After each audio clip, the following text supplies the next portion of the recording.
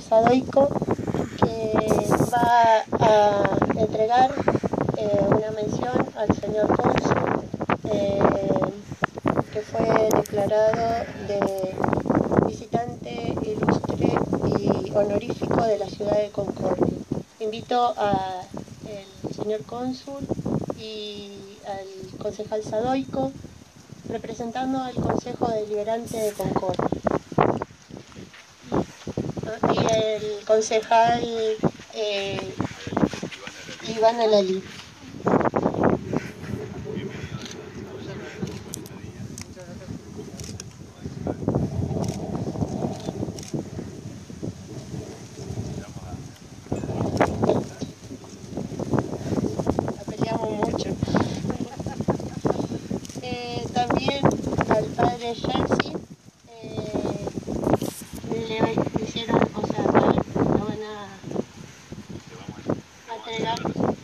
de, visitante ilustre que había sido gestionada el 21 de mayo eh, por todo lo que sucedió. Tuvimos que postergar.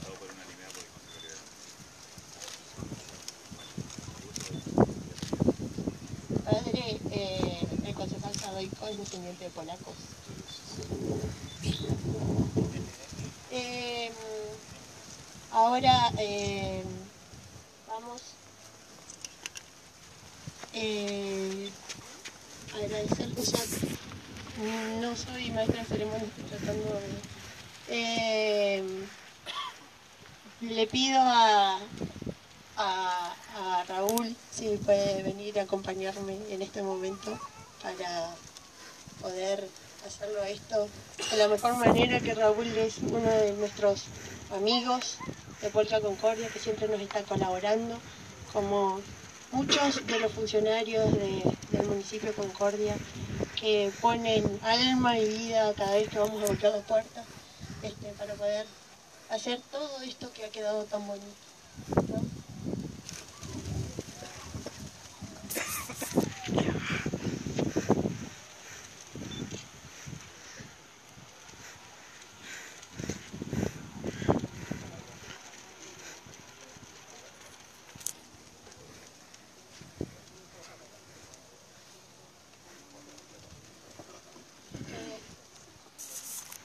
Vamos a escuchar unas palabras del cónsul eh, que va a hablar sobre qué significó Karol Wojtyla para el Estado de Polonia.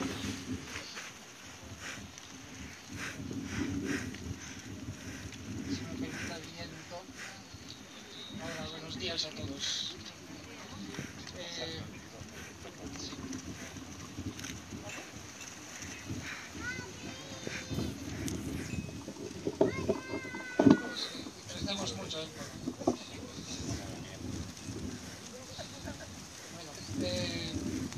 En primer lugar quería eh, dar las gracias eh, a todos los que colaboraron en la preparación de este acto, eh, sobre todo a las autoridades locales y a la colectividad polaca de Concordia.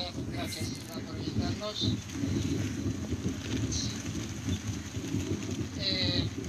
quería decirles unas palabras sobre el significado de Karol Wojtyła para la historia de mi país la historia de Polonia es muy complicada y los acontecimientos de los últimos 100 años fueron muy dolorosos eh, y no son nada fáciles de racontar, sobre todo en un lugar como Concordia, tan distante de, mi Polonia natal.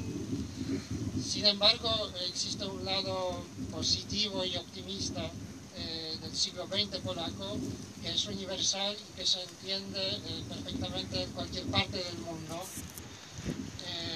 a través eh, de las palabras clave como la solidaridad, el movimiento obrero eh, Solidarność y a través de las personalidades mundialmente conocidas como Lech Wałęsa y eh, justamente Karol Wojtyła, el Papa polaco, el Papa viajero. El Papa polaco, durante uno de los pontificados más largos de la historia, recorrió 129 países y realizó un trabajo político y diplomático eh, muy importante, eh, promoviendo la paz y el diálogo entre las naciones y las religiones. Desde el punto de vista polaco, Juan Pablo II fue uno de los grandes protagonistas de la historia moderna que inició los grandes cambios en el bloque comunista, gracias a los cuales hoy en día los polacos viven en un estado libre, democrático, eh, que ha logrado un nivel de vida, un nivel de crecimiento económico inigualable en los últimos siglos. En este contexto, eh, las ocasiones como esta nos hacen recordar que el Papa polaco no pertenece solo a los polacos, sino que es un valor universal eh, que une Polonia, a la Argentina y a otros países del mundo por los valores que, promovía eh, y que son tan importantes eh, para tanta gente en todo el mundo. Este es, esta es la parte, digamos, espiritual de la historia de Juan Pablo II y creo que es mejor que nos la cuente el padre Jorge.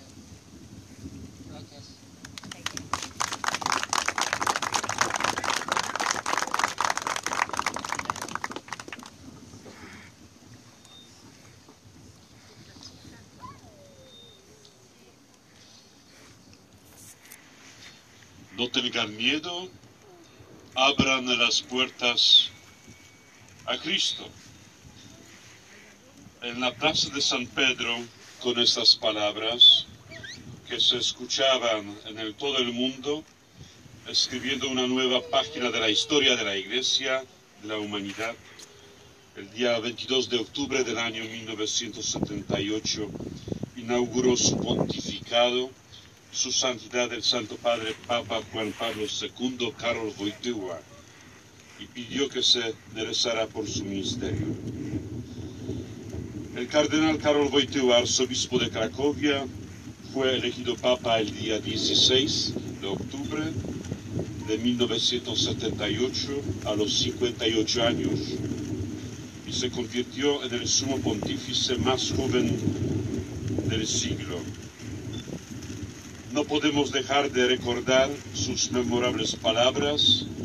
En abril de 1987 en Buenos Aires durante la Jornada Mundial de la Juventud cuando predicó al pueblo argentino que el hermano no se frente más a hermano, que no vuelva a haber más secuestros ni desaparecidos, que no haya lugar para el odio, la violencia, que la dignidad humana sea siempre respetada. Hoy en la ciudad de Concordia queremos recordar los 35 años de su primera visita en medio de conflicto para intervenir como mediador por la paz ante la guerra de Malvinas y los 30 años de su visita pastoral a nuestro país Argentina.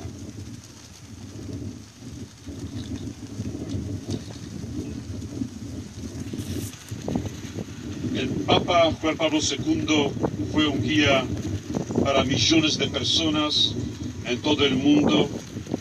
Acaba de pasar 12 años después de su muerte y tres años después de su canonización y sigue conmoviendo, inspirando y resplandece, resplandece cada vez más. Estoy seguro de que nuestro amadísimo Papa Juan Pablo II nos mira de la casa de Dios Padre que por intermedio de la persona nos mira de la casa de Dios Padre y bendice al pueblo argentino y todo el mundo. Papa Juan Pablo II sigue estando vivo en la Argentina, no solamente en sus distintas reliquias que llegaron a la tierra del Papa Francisco, pero especialmente está presente en los corazones de todos los argentinos. Estoy convencido que San Juan Pablo II dejó un fragmento de sí mismo en sus corazones, en palabras que hemos escuchado pronunciar, en gestos que le hemos visto hacer en su modo de rezar y hablar con Dios. Como santo los acompaña y les indica el camino por un mundo mejor. San Juan Pablo II ruega por nosotros.